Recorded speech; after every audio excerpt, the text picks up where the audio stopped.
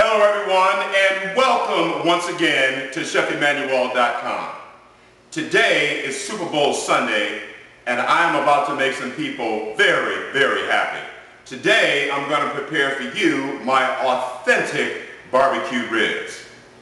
Now, soul food is about flavor. There is no other dish that defines soul food better than barbecue ribs. I'm going to have some people eating their fingers over here. I wish you were here to join me. My barbecue ribs are absolutely slamming, hands down. When we're done cooking ribs today, I'll show you a picture of it and you be the judge. I bet you can taste these ribs with your eyes. I'll see you guys in a minute.